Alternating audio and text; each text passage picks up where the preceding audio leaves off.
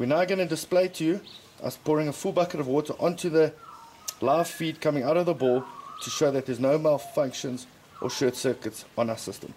Please start the vehicle.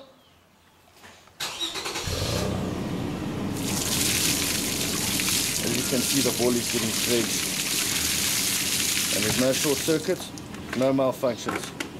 We are now going to attach the trailer to the vehicle to show how efficient the system actually is.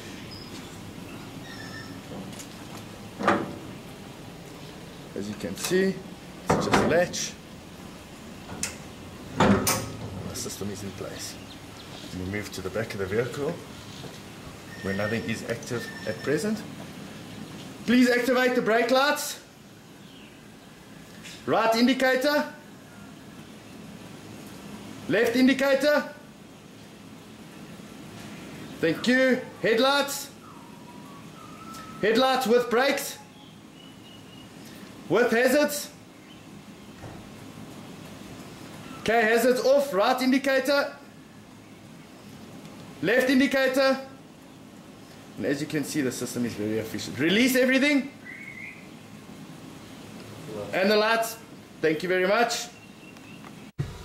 We're now going to go on a little journey to see the system in operation.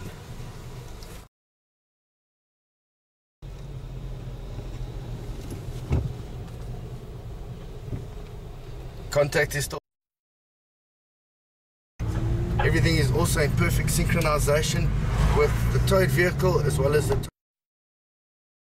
left.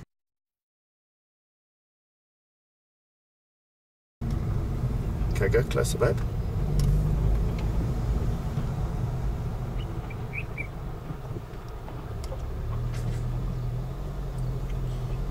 Perfect.